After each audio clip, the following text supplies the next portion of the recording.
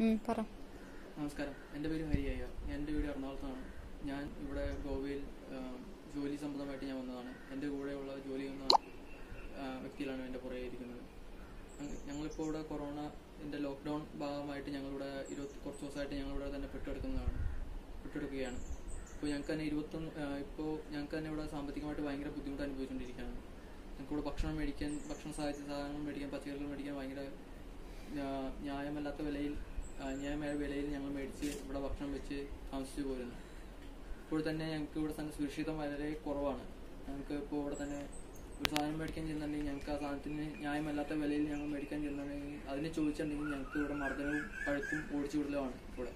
ഞങ്ങളിവിടെ തീരെ സുരക്ഷിതമല്ലാണ്ടാണ് ഞങ്ങളിവിടെ നിൽക്കുന്നത് തന്നെ. ഇതിന്റെ പേരിൽ ഇപ്പോൾ ഞങ്ങളുടെ മുതലാളിയും ഇതെല്ലാം കൂടി സഹായിച്ചാണ് ഞങ്ങളിവിടെ നിന്ന് പോരുന്നത് തന്നെ. ഇപ്പോൾ ഞങ്ങൾക്ക് ഞങ്ങളുടെ മുതലാളിക്കും എനിക്കും ഇവിടെ ഞങ്ങളുടെ സഹപ്രവർത്തകർക്ക് എല്ലാവർക്കും തന്നെ സാമ്പത്തികമായിട്ട് ഭയങ്കര ബുദ്ധിമുട്ട് അനുഭവപ്പെട്ടതുകൊണ്ട് ഞങ്ങൾക്ക് ഇവിടെ ഭക്ഷണങ്ങൾ മേടിക്കാൻ വേണ്ടി തന്നെ ഭയങ്കര ബുദ്ധിമുട്ടാണ് അനുഭവിച്ചുകൊണ്ടിരിക്കുകയാണ് ഞങ്ങൾ ഇതിന്റെ സംബന്ധമായിട്ട് ഞങ്ങളൊന്ന് അന്വേഷിച്ച് നോക്കിയപ്പോൾ ഞങ്ങളുടെ ഞങ്ങളുടെ ഇവിടെ ഈ ലൊക്കാലിറ്റി തന്നെ ജോലി ചെയ്യുന്ന പല ആൾക്കാരെ ഞങ്ങൾ വിളിച്ചു വെച്ചപ്പോൾ അവരും പറയുന്ന അനുഭവം ഇത് തന്നെയാണ്.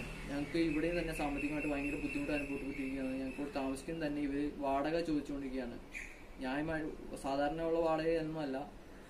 ഇവിടെ പതിനേഴായിരം രൂപ ഇരുപതിനായിരം രൂപ ഇതൊക്കെയാണ് ഇവിടുത്തെ വാടക മേടിക്കുന്ന ഇവിടുത്തെ ആൾക്കാർ ഇവിടുത്തെ ഗോവ ഗോവയിലെ സ്വദേശികളെല്ലാം മേടിക്കുന്ന വാടക ഇരുപതിനായിരം രൂപ തൊട്ടാണ് എല്ലാവരും മേടിക്കുന്നത് തന്നെ. ഞങ്ങൾക്ക് ഇവിടെ നിൽക്കാനും താമസിക്കാനും ഭക്ഷണം മേടിക്കാൻ പോലെയുള്ള ഭയങ്കര ബുദ്ധിമുട്ടാണ്. അപ്പോൾ അതുകൊണ്ട് നമ്മുടെ കേരള ഗവൺമെന്റ് ഞങ്ങൾക്ക് ഇതിന് അനുകൂലമായിട്ടുള്ള എന്തെങ്കിലും കാര്യങ്ങൾ ചെയ്തു തരണമെന്ന് ഞങ്ങൾ താഴ്മയായി അപേക്ഷിക്കുന്നു.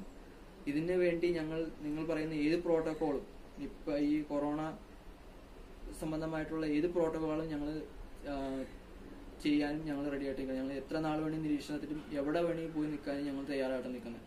ദയവായി ഞങ്ങൾ ഇവിടെ നിന്ന് നാട്ടിൽ ഞങ്ങൾ നാട്ടിലേക്ക് തിരിച്ചു കൊണ്ടുവരണം കൊണ്ടുപോകണം കൊണ്ടുവരണം എന്നാണ് ഞങ്ങൾ എല്ലാവരും പറയുന്നത് തന്നെ.